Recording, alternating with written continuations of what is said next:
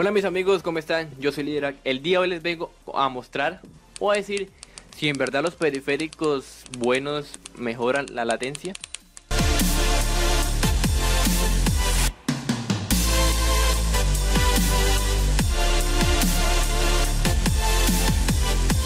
Sí mis amigos, ¿cómo están? Eh, hoy les vengo a decir si en verdad vale la pena comprar periféricos para mejorar la latencia. ¿Vale la pena Liderac? ¿No vale la pena?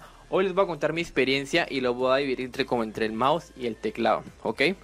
Lo primero muchachos, vamos a empezar por el teclado. Cuando yo empecé todo el tema este de la DigiForce Now y todo eso, pues tiene un teclado de membrana, membrana común, o sea, el de los portátiles, porque obviamente yo tengo la laptop y ahí pues uso el GeForce Now. Eh, la verdad al principio era muy tedioso tener estos teclados porque la verdad hay que presionarlos bastante. A veces como las teclas están tan unidas, pues uno se confunde y pues empieza a tocar, empieza a tocar varias teclas sin, sin, sin, sin, culpa, por decirlo así. La verdad me fastidió, así que decidí, decidí comprarme un teclado de estos baratos que son semi mecánicos, que simulan un teclado mecánico. La verdad sí mejoró esa experiencia. ¿Qué pasaba? Que muchas veces esos teclados cuando usted los presiona muy duro, como que se la tecla ya se empieza como a quedar. ¿Sí me entiende? O sea, sí mejoró, se sentían un poco mejor, un poco más agradable, un poco con mejor movilidad, cosas así, pero no era como del todo que uno diga super wow, un super cambio. Pero bueno, y el, el tema de mejorar la latencia, sí me mejoró muchachos, pero no es como que uno diga, oh, el cambio es brutal, no. Más que todo fue comodidad. Recuerden que esos teclados semimecánicos no tienen como tiempo de reacción. Y pues por lo, o sea, literal es como un teclado de membrana un poquito más cómodo, ¿ok? Ahora, el tema del teclado mecánico. El tema de, estos teclados, la verdad es que el, yo lo que más o menos pues sentí en todos los tres teclados que probé, el de membrana, el semimecánico y el mecánico, es que eso es va variando entre más, más, más suave la tecla, literal. El de membrana es bastante duro al presionar, el semimecánico más o menos.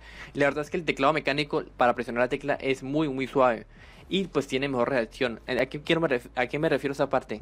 Que a la hora de hacer los movimientos en GeForce Now con un teclado mecánico propio, con switches y todo esto, va mucho mejor, se siente mucho mejor, más que todo a la hora de jugar Fortnite. Es que, por ejemplo, en las partes de las construcciones, la verdad es que se siente muchísimo mejor a la hora de presionar un teclado con membrana. Igualmente, un teclado semimecánico va bastante bien en el tema de este GeForce, pero obviamente un teclado mecánico, perdón, semimecánico va bien, pero un teclado mecánico va muchísimo mejor más recomendable. Entonces, eso sería por la parte de los teclados, ¿ok? Ahora vamos a pasar por la parte del mouse. Yo he probado con GeForce Now aproximadamente 4 mouse, uno de aproximadamente mm, unos 30 mil pesos, unos 5 dólares, otro probé de otros creo que era 10 dólares. Y pues la verdad el último que tengo y a diferencia de los otros es que sí se siente bastante. ¿Por qué el Hydrax? Incluso los otros que habían tenido se les podía configurar el DPI, muchachos. Eran configurables. Pero bueno, el anterior que tenía, aparte que me acabo de comprar, para los que no sepan, tengo unos bots en el canal, lo pueden ir a mirar. Aparte, el anterior que tenía era bastante bueno. Pero no me complacía a la hora de jugar. El DPI era muy inestable, era muy, muy, muy explosivo, no sé. Y era muy explosivo para tener tan poquito de PI, o sea que cuando llegaba ya el máximo al tope, el de que era 3200 en ese mouse, era muy, muy, muy grande, o sea, era una cosa, pero que no se podía prácticamente ni mover. Cuando me cambié este mouse, obviamente sentí un mouse de un poquito más de calidad, un poquito del tema del DPI ya no era de, ahora de 4000 hasta 4200.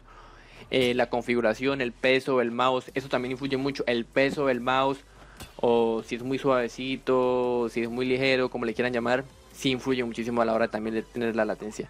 Y por lo tanto, cuando me cambié a este mouse, la verdad es que sí, muchachos, mejoré muchísimo. En el sentido de que sí me siento, más cómodo.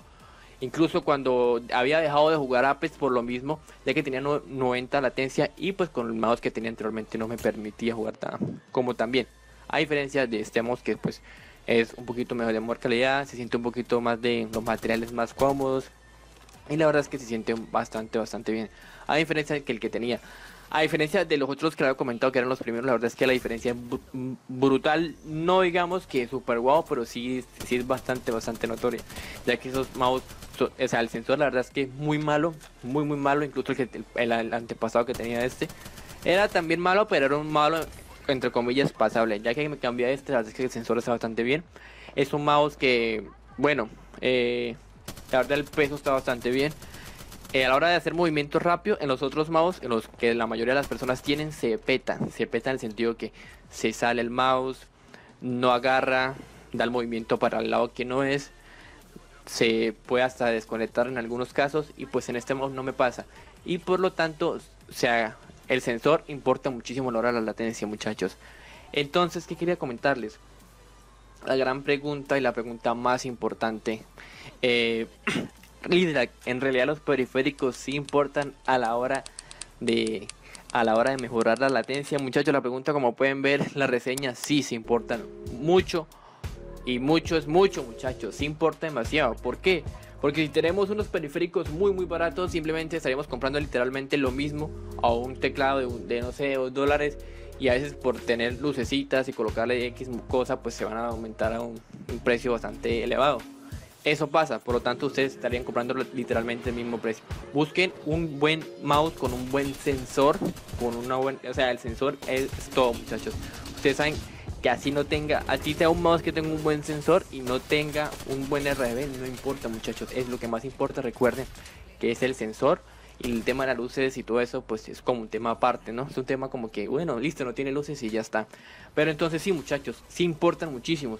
En el tema de los teclados, un semimecánico está bien, está bien, pero si pueden comprar o adquirir un teclado mecánico con switches de los que ustedes quieran, de verdad que sí, yo les recomiendo que lo hagan. La verdad que el cambio es brutal, se sienten muy, muy cómodos a la hora de escribir, a la hora de, de jugar, más que todos, obviamente yo tengo el teclado de una sola mano, para mí va perfecto, perfecto.